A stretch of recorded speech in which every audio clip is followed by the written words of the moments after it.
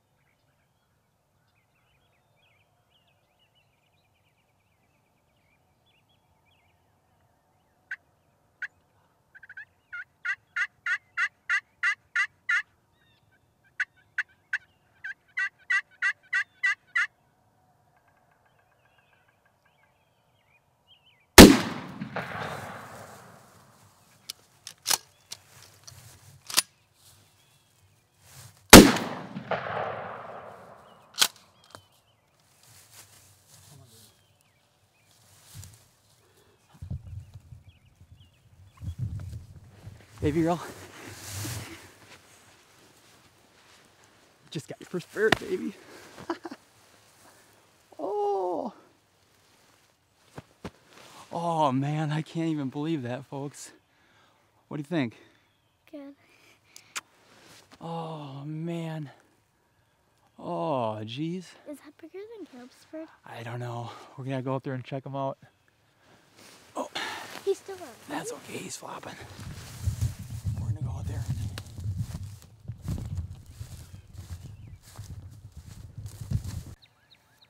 Well, folks, here we are. It is uh, 6:50 in the morning. Um, we're in South Central Minnesota, and Madison just got her first turkey. Awesome. So, what do you think? It's cool. Was it cool? Did you have fun? Yeah. So what'd you think? When you when I first told you about the tom, uh, when he when he hit the ground and stuff, and they were coming, did you start to get the adrenaline rush? Start getting nervous? Yeah, maybe I didn't know what to do. You didn't know what to do. You're like, "Eh."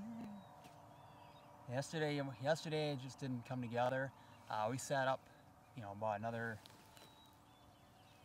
maybe 100 yards to our south, and uh, I figured out that they they stayed up high on this higher ground. They, they just wouldn't come in close, and they're following this grass line where it's uh, goes from nice and green until more of a brown. And so I told Madison, I said, well, we need to come north just a little bit further here, probably you know 100 yards or so, and then hopefully they would follow this grass line around. And it's exactly what he did. So she was able to smoke her first bird this morning. Now on to uh, trying to get me a bird with a bow, huh? And Caleb, Caleb still has to get one too. So, well, good job, babe. Proud of ya.